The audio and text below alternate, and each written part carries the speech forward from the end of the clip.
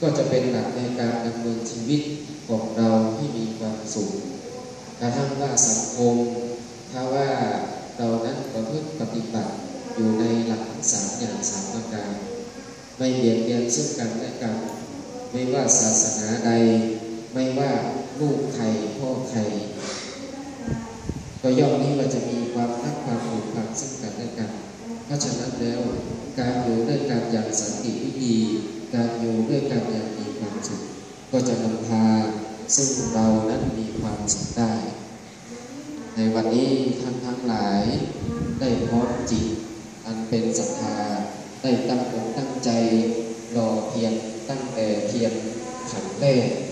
จนถึงสุดยอดได้เป็นหนึ่งเล่มได้พร้อมจิตพร้อมใจกันแบกกันหามกันเดินขบวน มายังวัดบาอารามที่วัด ในนามเป็นตัวแทนของท่านครูบาเจ้าจันทรังสี ก็ขอหากว่าอนุโมทนาชื่นชมในกุศลเจตนาที่ท่านได้พร้อมจิตพร้อมใจกันโน้อมถวายเตรียมรักษาในวันนี้